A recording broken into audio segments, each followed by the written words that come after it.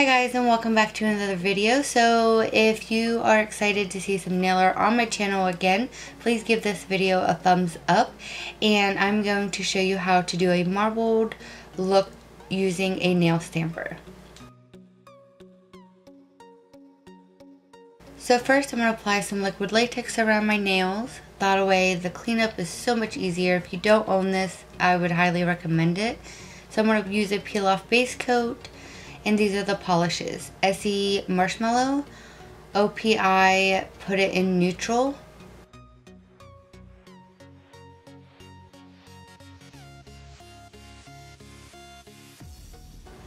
China Glaze, that's Shore Bright. China Glaze UV Meant to Be and OPI Infinite Shine Set in Stone. So first what you want to do is you want to apply your polish on um, something like a silicone or a baggie and I'm just randomly placing the polishes and I should have done less of the color so it was more um, of like the sheer. So I'm going to use a clear stamper and when you first apply it right away, it's going to like smear and blend. The longer you wait, the more it's going to dry and the more opaque it's going to lay on your nail. So here you just want to apply it randomly. Um, depending on your look, you can apply what's left on the stamper here and there.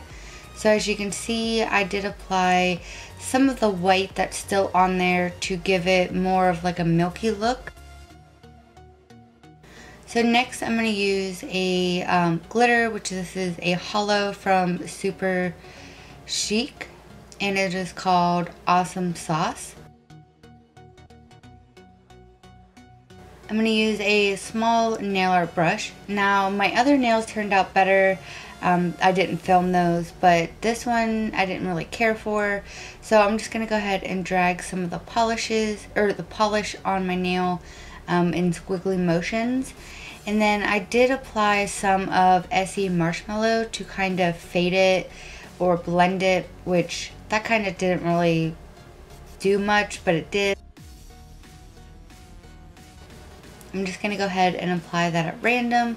I probably should have put a coat of Essie Marshmallow on top so it looked more milky and uh, less opaque.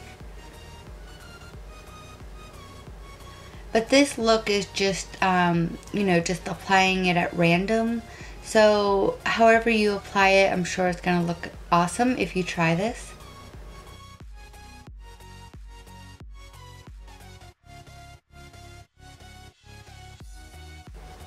And then when you are finished, you just want to clean up. I use a Dollar e.l.f.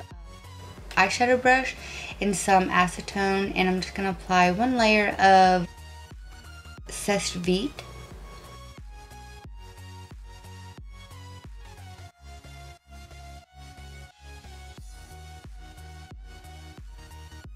So here is the finished design. I do love how it turned out.